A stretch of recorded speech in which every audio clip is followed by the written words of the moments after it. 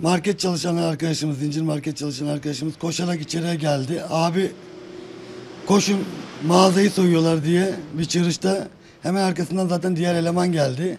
O da aynı şekilde abi silahları var silahları var deyince biz çıktık zaten dışarı. O anda şahıslar kapıdan atladı ve kaçıp gittiler. Silahını fark etmedim ama düşe kalk ellerinde çanta vardı. Düşe kalka yol alıp gittiler yani kaçtılar. Herhalde sigara mı çalmışlar, para çalmışlar. İki kişiydiler. İki siyah elbiseli. Birinde tam hatırlamıyorsam şapka vardı. Koşarak hızlı bir şekilde yol aldılar bir arka sokaktan. Biz o bir bakkalın önündeydik mesela. Arkadaşlar hırsız var deyince biz de koştuk normal hırsızlık zannettik. Ee, içeri girince herkes dışarı kaçıyor ağlayarak. Biz de baktık silahlı gibi. iki kişi vardı. Birisi elde ufak bir silah vardı. İki tane 16, 17, 18 yaşlarında. Yani çocuk yaşlarındaydı yani.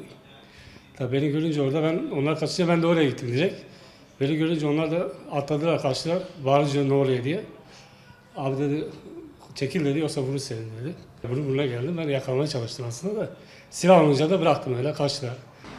Sadece çekil dedi vururuz dedi seni de. Ben de çekilmez zorunda kaldım benim de silah olunca yani. yani 16, 17, 18 yaşlarındaydı. İkisi de yukarıya yaklaştılar. Elinde çanta siyah vardı. Maske vardı, şapka vardı. Elinde silah da olunca bir şey yapmadım yani. yani kasayı boşalttılar kaçtılar bize. olay günü 8'e 10 kala nefes nefese kaçan bir çocuk geldi bana. Arka sokakta oturan. Hırsızlar var dedi, kavga var dedi. Polisi ara. Ben de polisi aradım. Ama tabii silahlı olduğunu bilmiyordum o esnada. Aradım polisi. Daha sonra da gitmedim oraya bakmadım. Sonra baktı ki olay büyüktür, e, silahlıdır falan, soygun oldu falan. Ben de müşteri var diye çıka, dışarı çıkamadım tabii o anda.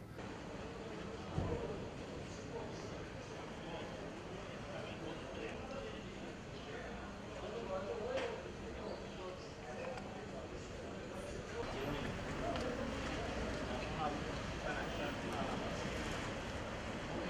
you.